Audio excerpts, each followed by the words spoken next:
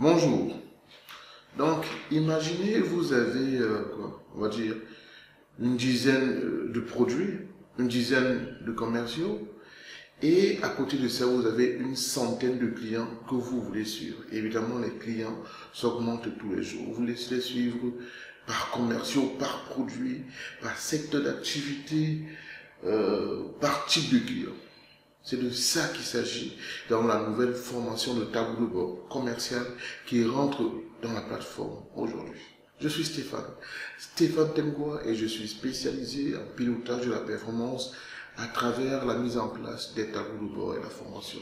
Ce qui signifie que mon objectif est de vous apprendre, vous, à être plus performant, grâce au tableau de bord. Donc, grâce au tableau de bord, vous pouvez gagner énormément en performance personnelle et encore plus pour votre entreprise. Donc, j'ai donc mis en place une plateforme de formation dans laquelle vous pouvez apprendre à construire tout type de tableau de bord. Dans cette plateforme, nous avons plus de six formations différentes. Mais dès que vous, êtes abonné à la plateforme, vous avez accès à toutes ces formations confondues sans aucun frais supplémentaire. Les formations sont le coaching DAF pour les DAF, contrôle de gestion pro, analyse des ventes et de la prospection, coaching RH, euh, Excel de A à Z et le master en tableau de bord. Donc aujourd'hui, je rajoute un nouveau tableau de bord dans la plateforme comme toutes les semaines. Je rajoute toujours une nouvelle formation.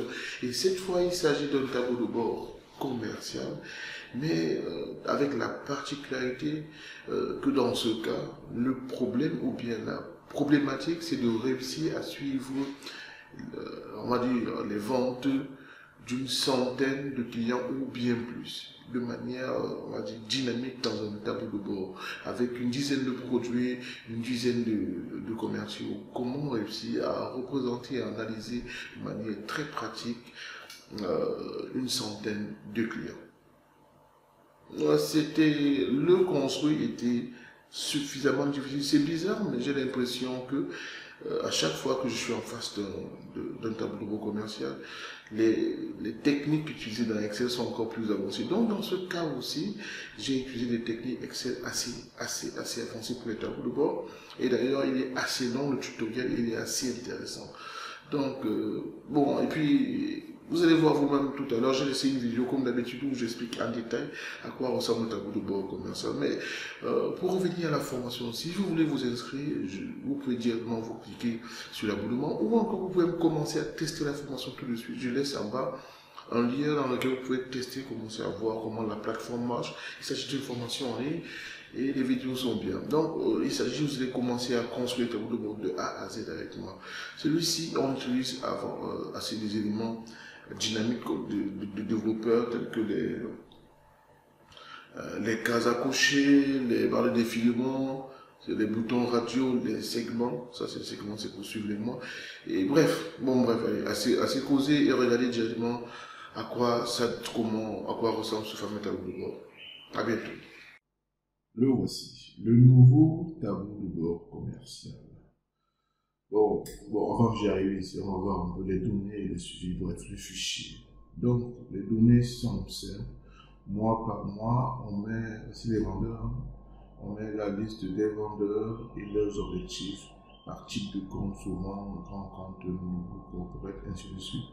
Mois par mois, on les met ici, et aussi c'est à l'intérieur.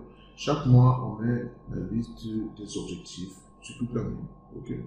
Ça va jusqu'en décembre pour, chaque, pour chacun, pour chaque vendeur, on met ses objectifs ici. On a la liste des vendeurs, le nom comme nom ici, le type de compte, la liste des produits, le produit 1 à produit 9 dans notre cas. Ensuite, on fait un suivi au jour le jour des ventes. Ici, c'est juste comment je pense. Ces données sont juste quand on met quelques données de mai, par exemple. Euh, il y a les factures et il y a aussi les paiements. ok? Les recouvrements sont enregistrés à l'intérieur aussi, par, par client et par vendeur. J'efface donc raison sociale du client, secteur d'activité, type de client, actif ou passif, le vendeur, le produit vendu, la quantité, le prix unitaire et le montant. Et la zone de vente. Voilà les différents éléments. Il n'y a que deux zones de vente. Avec euh, des éléments d'analyse, comme d'habitude, quelques tableaux croisés dynamiques, on génère ce tableau de bord. On va voir comment ça marche. Donc, déjà ici, on choisit la périodicité. De ce côté, les grands indicateurs, les aussi. Le chiffre d'affaires pour la période choisie, les chiffres sont en milliers de francs, en kilos. 203 431 73 clients et taux de recouvrement 21%. Le meilleur produit, c'est le produit 3 avec 64% et 58 clients. Le meilleur client, c'est le client EO, l'entreprise EO, avec qui représente 16% du chiffre d'affaires. Le meilleur vendeur, c'est Gabriela, avec 31% du chiffre d'affaires d'après vos données. De ce côté, c'est l'analyse par produit, comme vous le voyez. Comment lire ça? Produit 3, c'est là 64%, 58 clients qui ont vendu une quantité, le nombre de clients, quantité. En fait, il faut rajouter une petite légende, c'est fait euh, par défaut. 16 millions de clients pour 16 millions de quantité dont le produit 1, le produit 3 a été vendu à une quantité de 16 millions et un chiffre d'affaires de 130 millions 357 millions.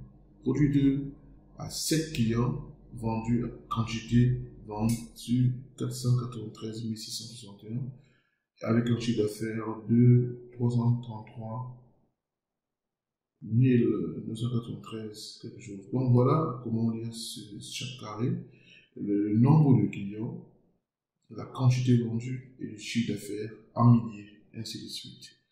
Alors, ici, c'est l'analyse des, clients. On à tous ici, l'analyse de tous les clients qu'on a euh, avec pour chaque client à Freeland le montant de son chiffre d'affaires, le pourcentage total, la quantité euh, de la quantité du produit vendu, disons je prends le produit sec par exemple, on a vendu 480, à Freeland on a vendu 485 288 de ce produit. Euh, le graphique qui va avec, le prix moyen de vente de ce produit, le prix moyen unitaire de vente est de ce montant. Et enfin, euh, le recouvrement 0%. C'est pas terrible. Un peu plus bas, analyse par commerciaux maintenant. Pour chaque commercial, vous voyez le nom est là et à côté c'est le nombre de clients. Donc, Gaëtan a 24 clients, Gérard 10 clients et ainsi de suite. Ces, ces boules noires foncées, c'est pour ceux qui ont le plus grand nombre de clients. Ok? Le plus foncé, c'est le plus grand nombre. Le gris, c'est deux moins de donc les trois premiers. Donc, Gaëtan, Gérard et Patrick ont les plus grands nombres, 24, 10 et 10. Et là, c'est le pourcentage du total de leur chiffre d'affaires. La barre bleue, c'est le chiffre d'affaires. Et ceci, c'est l'objectif. La petite barre verticale, c'est l'objectif. De ce côté, c'est le pourcentage de l'objectif, 81%. C'est classé bien sûr par le montant de chiffre d'affaires le plus élevé. Vous voyez bien. Le meilleur chiffre d'affaires, c'est Gabriela, 63 547. Ensuite, Gaëtan, 29 626. Gérard, et ainsi de suite. Et le, meilleur, le pire chiffre d'affaires, c'est Eliane qui a 1 million 676 qui vaut 1% euh, du chiffre d'affaires et, qui a fait 34% de budget. Et voilà. De ce côté, c'est l'analyse par secteur d'activité. C'est le même principe, le nombre de secteurs, le nombre de clients dans chaque secteur. Et les bouts, c'est pour donner le nombre de personnes qui ont le plus grand nombre de, de clients. Communication, lui et lui montant du chiffre d'affaires de chaque secteur d'activité graphique, pourcentage total, client, type de client, le nombre de, nombre de clients dans chaque type de client, euh, le nombre de montants, le pourcentage du total. Et à côté de ça, maintenant, ce que j'ai en particulier, c'est la possibilité de dire, OK, je veux voir le produit 3 par exemple. Quels sont les clients qui sont dans le produit 3 On dit qu'il y a 58 clients. On a vendu de ce produit 16 millions de quantité avec un montant de 130 millions 357. Donc voici comment c'est réparti par client ici, c'est pas mal du tout. Avec, on peut comparer aussi avec euh, les quantités vendues ici.